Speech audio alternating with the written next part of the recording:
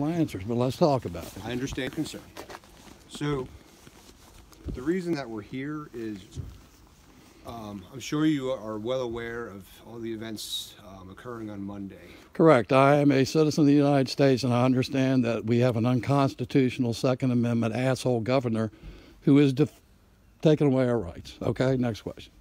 So, the reason that we are here is we got a tip that somebody was coming down to the Capitol, uh, and there was video footage of you at the Capitol, um, walking around the Capitol, which appeared to be checking into structures um, and just seeing, just getting a general surrounding of the Capitol and seeing what's going on. Um, knocking on pillars, most likely to check densities. Who knows? So we got a tip, and we're following up on some leads. So Gentlemen, gentlemen, gentlemen, do you know why I knocked on the damn pillars? I, I don't. Tell me everything you two know about the pillars on the damn Capitol right now. They've been there for a long time. What else do you know about them? What else? Did They're you guys trees. They're actually trees. Go do the damn tour. I knocked on them because I'm a builder and I was interested in the fact that they're trees that were plastered. Okay. Well, I walked the Capitol as a free citizen and a Mm-hmm. free man because I'm going to attend the rally Okay. and because I want to, for my safety to know the surroundings. that's fine. That's why You we're here to two are a fine representative of what's going on here now. You have driven over a hundred miles to harass a citizen on his front porch in Northumberland County based on a tip, which is exactly why the red laws are so Well, bad. These just- red flag laws. It wasn't just a tip, sir. So there are many law enforcement officers present that day and have been for a while. And what they saw was what appeared to be pre-operational planning, and they were What they saw was an watched it on the video. intelligent American citizen who is situationally aware of the piss poor job that y'all will do with my security. You are disarming me. You're putting me behind a gate, and yet still, as a free man, I'm going to come stand. Do you know what's in my backpack? My backpack will have first aid supplies. It will have a spray bottle. It will have water's a bottle, bottled water, so I can help my fellow citizens when you bastards start spraying us. Sir, we, You are the problem.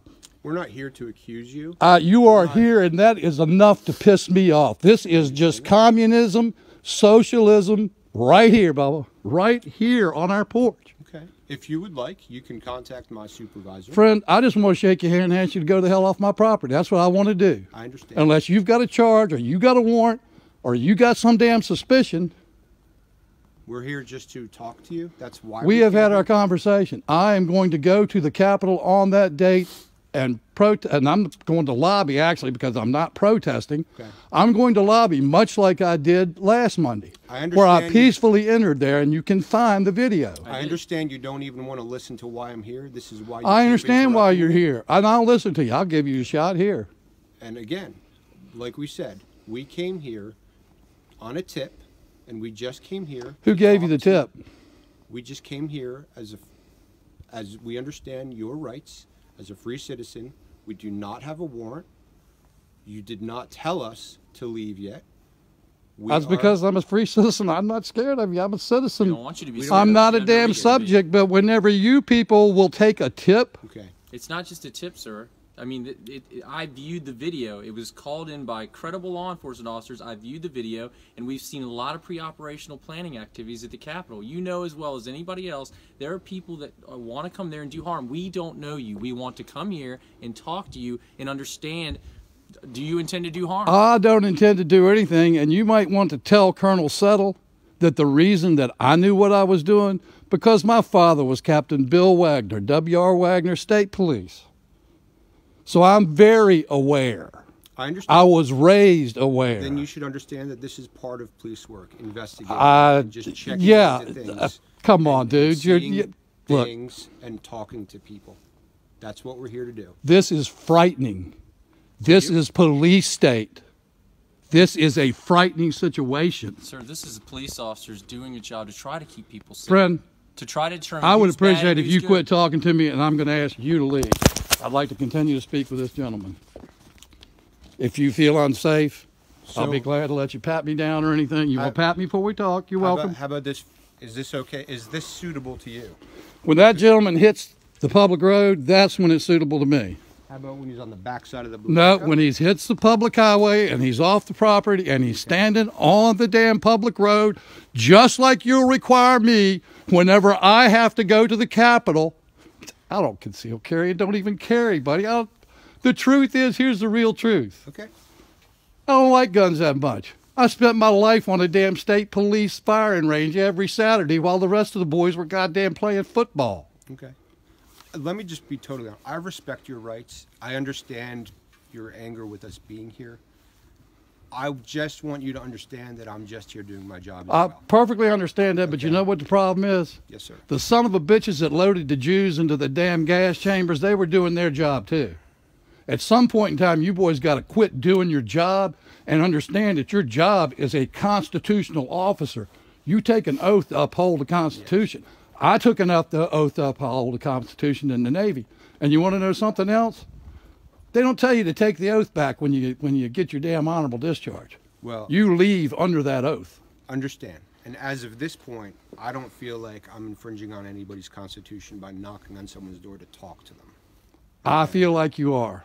I understand that. You could have made a phone call. You son of a bitches know everything, probably including what I had dinner for last night. You You, could have made the phone call. Hey, George Wagner, you, You got know- any issues with us? Nah, you, man. You know that's not how investigations are done, okay? And I, like you asked him to leave and he left at any moment here. And I do not plan on staying here longer, even on my own volition. But That's if fine. you if you want me to leave, I'll leave as well. Oh, you already stated that, and I fully appreciated that. Yes. I really did. Okay. And you know what? I was not surprised when when the wife said, "Hey, Capitol Police at the door." Why I knew why you were here. Why weren't I knew surprised? exactly what. You, why wasn't I surprised? Yeah. Because we live in such a, such a police state that a man that walks around a facility like that. So I took pictures. Mm-hmm. I took pictures. How many damn people take pictures at the Capitol?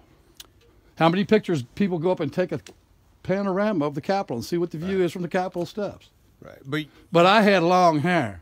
No. And I looked like a big old rough guy. No. And I looked like some kind of goddamn left, a right winger, whatever these other idiots y'all are arrested.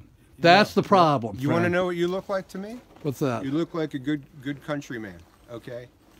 Who And I, here I you- respect, and I have no problem with you having your weapons, and having your opinions, and having you go down there and take pictures. I'm up here because I was instructed to come up here. I fully and talk to you, understand. okay? So that's what we're here. We just wanted to come up here and see that, see if there's any bad intent, if there's any good intent, just to kind of get your word on what any intent you had being down there. That's all. Friend, I got Okay. two artificial hips. I'm scheduled in June to get this one Mm-hmm. replaced again after 22 years. Okay. If I'm going to start a fight and kick anybody's ass, they're going to have to lay down beside me because I got one leg and it ain't that good. I understand. I understand. And you might have noted that that very dangerous looking man that's brought y'all down here was an old dude walking around with a cane. Dangerous man that brought us. Yeah. Because obviously I'm so dangerous and so and so in fear at the Capitol that the damn governor has instructed you to come down here and investigate this horrible son of a bitch. Sure. Well, here he stands, wet haired. You seen his buck ass naked in the goddamn thing, trying to get dressed to come out here and comply. I understand. So, I mean, I'm well, I'll stand and talk to you all day. I would like a card or something from you. This is my wife, Kay. Yes, I met her. What's her? Oh, you already introduced you to him? Well, she answered the door. Yes, oh, ma'am. Okay. Do you have a card or something so I know who I- was here? I do have a card, and I. And how about a card and something for the other guy? Because I didn't like his approach. He's got a nasty little attitude, and he's the kind of cop that's, that's going to cause the trouble. You fellas need to pay particular attention because the real situation is we want to support you. I'm on your team. I appreciate Guys like that, he's a fucking hothead. He's got his little shitty attitude with me. He started with a little shitty attitude, want to get his back up. Can I? He can will I- cause a problem. Can I ask what you deemed him to be having a shitty attitude? I'm just. To me, Yes, you said he that that he had a shitty attitude. yes. What What did he do? I'm very aware of police officers. I'm very mm-hmm. aware of the stance. You can see the tightness in his jaw. You can mm-hmm. see the fact he didn't like me speaking to him as a citizen. He obviously felt he wanted to control me. That is the vibe he put off. Understood. You need to educate your guys and spend time for the next 48 hours. The people that are going to be in the street, they're not the problem. I'm going in the lobby. Right. I'm going in peacefully, unarmed, just like I did last Monday, yes. and watch the sorriest circus that God has ever seen. The idiot running that thing, ought to have put a damn kindergartner up there and he'd have done a better job. I understand. They violated Senate rules. They violated our Constitution. They voted stuff on the docket that wasn't on the docket. They took stuff off the docket that was on the docket and invented crap while they were there. I Understand. But please remember the guys you see up there are not your enemy. I But they can become I agree. because you have to figure out what side you're going to stand on. Yeah. You have said you will fucking stand by the Constitution. You'll protect us. Right now, the police, except for that sheriff from Culpeper, and I went to Culpeper High School because my mm-hmm. dad was captain up there. Sure. He's standing up like a true officer and a true Virginian. Now I know who pays your check, but at some point in time, you got to figure out whether your honor, your morals, and your obligation to the people Right. are more important to the trash that's been elected up there. All right. because that is pure criminal garbage that sits in our state house right now. Let me tell you a little joke, and you'll hear it again if I can get up to him. What's that? A racist, a rapist, and a guy in blackface go into a bar. Which one's the sitting governor of Virginia? You tell me. Northam. So, we don't know if he's the racist or the guy in blackface yet because all that's been kind of, you know, poo pooed. Right. had it been a Republican that's been co- convicted or found, uh, you know, with the public media pressure of what he had done, you fellas couldn't keep the damn demon rats off the goddamn Capitol, let alone out to Broad Street. They'd have closed Virginia down in Richmond. Understand. But if you got nothing else, man, I'd like to go finish having my coffee. I do not have anything else. And I certainly have enjoyed talking to you. And your name again is Adam Culpa. Adam Culp. As